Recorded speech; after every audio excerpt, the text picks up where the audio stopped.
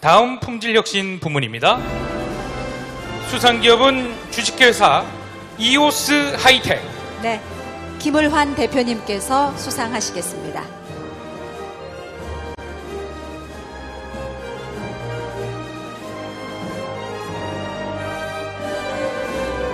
(2017) 대한민국 혁신 경영인 대상 품질 혁신 부문 주식회사 이오스 하이텍 대표 김을환 이하 내용은 같습니다.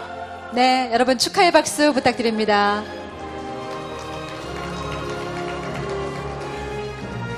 알칼리 이온수기 또 이온수기 복합 필터 전문 기업입니다. 이오스 하이텍 세계 최초의 원형 이온수기를 개발했습니다. 최근에는 7인치 TFT LCD를 적용한 이온수기를 개발해서 아, 마무리하면서 업계를 선도하고 있습니다.